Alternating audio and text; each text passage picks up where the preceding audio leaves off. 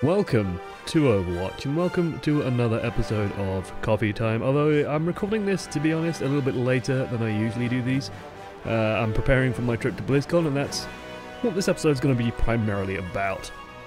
I do also want to touch very briefly on Mercy and Ana, actually, as some of the developers, well, Jeff posted today that Ana's going to get a slight buff very soon, or at least they're planning to give her a slight buff to her damage output, making it go from 60 to 70, which I think is a lovely change because there's a, a nice little break point at 70. And if you aren't aware of like how to gauge a damage buff and like what it actually means, because like going from 60 to 70 doesn't sound amazing, but when you start considering what breakpoints it gives you, it's actually kind of interesting. So what 60 to 70 does is, well, 3 times 70 is 210 oftentimes. There's, there's some quick maths for you.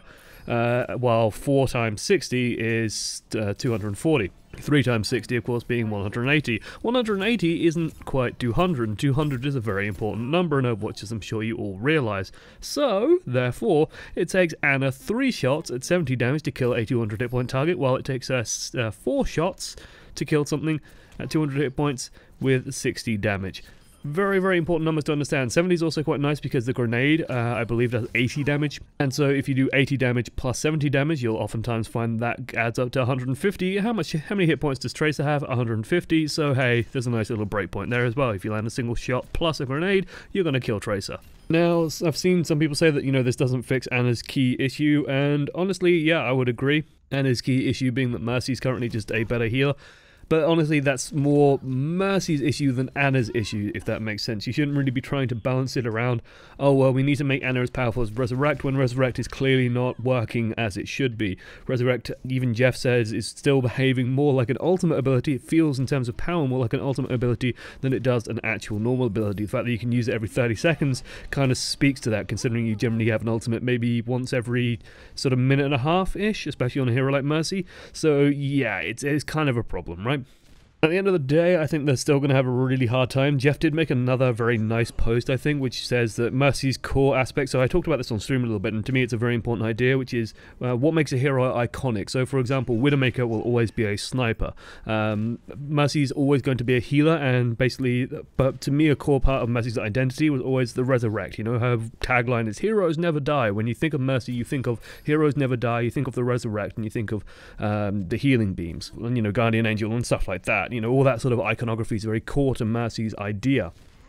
But Jeff did make a post saying that the core idea to them of Mercy is in her healing and not so much in her resurrect. So that to me says that they are not afraid of dialing down the resurrect in a huge manner, basically, making sure that the resurrect falls on the back burner um, just to make sure that her healing output remains untouched. Basically, the healing is the, the enshrined concept that Mercy sort of revolves around, not the resurrect. And that's actually quite important because that means that res can be nerfed to hell and back, basically, without sort of the developers feeling like they're stepping on Mercy's toes too much. It's a tricky one. It's a tricky one to balance. Resurrect is extremely powerful. I could do an entire video going into like data and just sort of showing you graphs. I've drawn them on stream numerous times about how Resurrect sort of affects the power curve of a team and how you get an instantaneous sort of pickup while the enemy team often expends resources to get a kill. So basically Resurrect undoes all of that. Anyway, I also mentioned that I'm going to be talking about BlizzCon. I am leaving for BlizzCon in about 12 hours' time, actually, from when this is being recorded, so that sort of times it out for you. And I just wanted to sort of give my own little mindless speculation. I know people occasionally ask me, you know, what do you expect at BlizzCon? Uh, I'm expecting a new short. I'm expecting a new hero. Um, the short will probably include the hero. I imagine this is going to become something of a tradition. Although knowing Blizzard, they probably won't be afraid to break that tradition if necessary. But I'm ex- definitely expecting a short. I will be stunned and astounded if we don't get an animated short of some sort. And I'm expecting uh, new hero, new map as well would be very nice, but I'm not going to hold my breath. What I really want out of BlizzCon is, like, I want to hear the panels, and I want to hear Jeff and a couple of the others talking about their plans going forward and how to address some of the big issues in competitive, and how to address some of the issues that, you know, the community as a whole is facing, because these are the things that I really care about at this point. These are the things that I really, really sort of want to see fixed and developed, because at the moment, And you know, I mentioned this in the last video, and it sort of all boils down. Um, Starks, a friend of mine, did a very good video.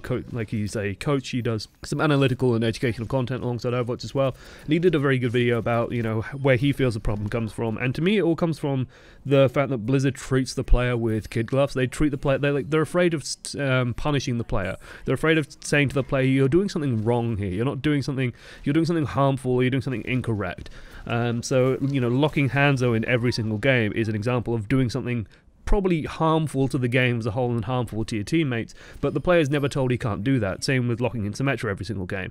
Uh, Io Starks went more to the direction of, you know, the player is never told that they're performing badly and they're never told that they are being, you know, that their their DPS is, for example, subpar, their tanking isn't working or whatever, they're never actually informed that they just get to see, you know, medals. And if you're playing DPS and you have a medal, well, congratulations, you're competing with like three other people anyway, usually, so it's not that big a deal. And there's a lot of psychology that goes into it all, but at the end of the day, the problem exists, right? The Overwatch can be frustrating more than it's fun quite often, and that is sad. That that is a sad factor.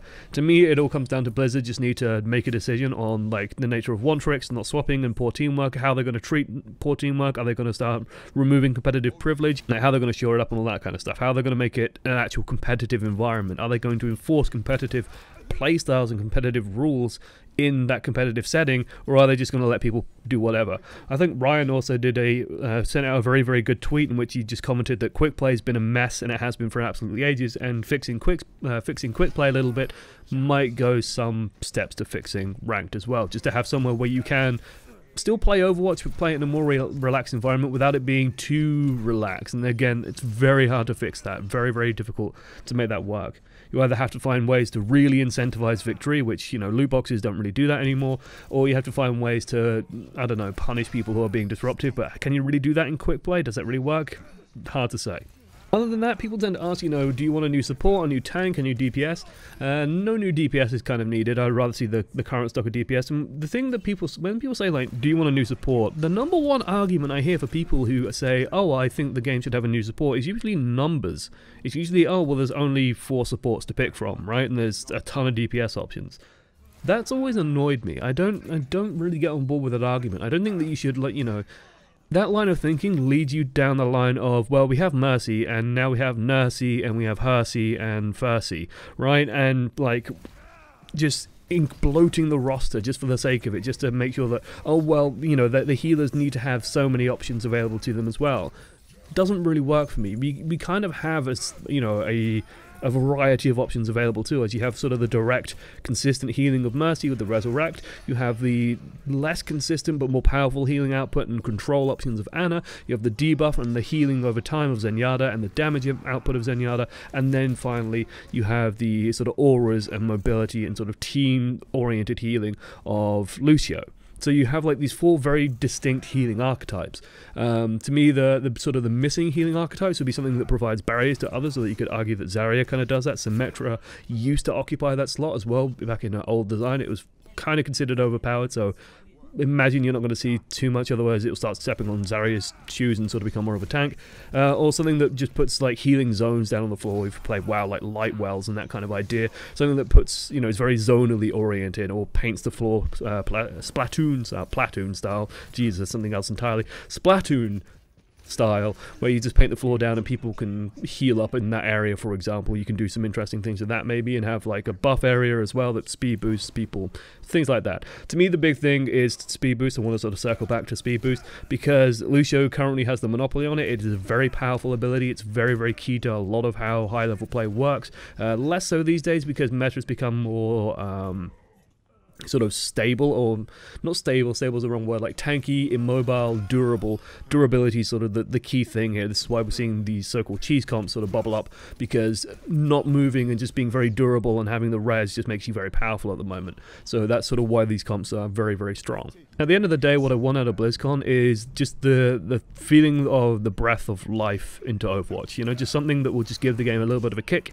uh, and just to give it a little bit of an extra I don't know, a little bit of extra zing, a little bit of an extra boost. I'm looking forward also to the World Cup, of course, cheering for Team UK going up against Team Sweden. Uh, hopefully they'll do us proud. Team Sweden should be pretty good opponents now. They weren't looking too strong in the qualifiers, but I imagine they sort of leveled up a bit. While Team UK, I don't think have quite leveled up at the same pace. I think that the level that we are at is still strong enough to beat them. So I'm looking forward to seeing that. Hopefully we can scoop up second place. That's sort of the dream. That's the goal is to try and go for second. We're under no illusions. South Korea will go ahead and crush absolutely everyone because they're just better and they've been training harder. They have probably better practice partners and all that jazz. What I'm also looking forward to is any announcements and well, any and all news on the Overwatch League. I want to see how the Overwatch League sort of gets started. And I might start ramping up content, just covering the Overwatch League very heavily and try and sort of get into that sort of thing and just sort of doing that on the back burner and making that very vested interest for me.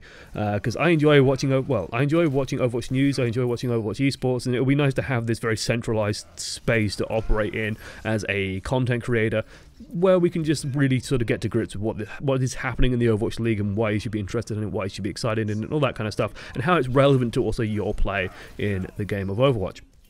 Otherwise, guys, there will probably be a news video as well, or like a, a coffee break when I come back. I might try and record it when I get home, which will be Monday, next Monday.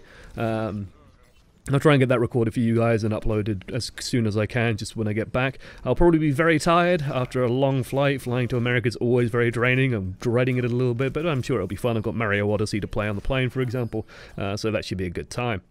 Otherwise, guys, thank you for listening all the way to the end. Let me know what you're expecting from BlizzCon. Let me know if you're also worried about Mercy. I'm sure you are. But let me know more about BlizzCon. I want to know what you guys' predictions are for BlizzCon, what you're expecting, what you're hoping for to hear, or what you're hoping to hear from the developers at BlizzCon as well. Thank you for watching to the end. I've been Josh, one voice amongst many. This has been a very brief coffee break, and I'll see you guys soon.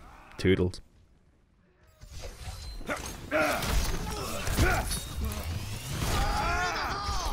Meteor strike!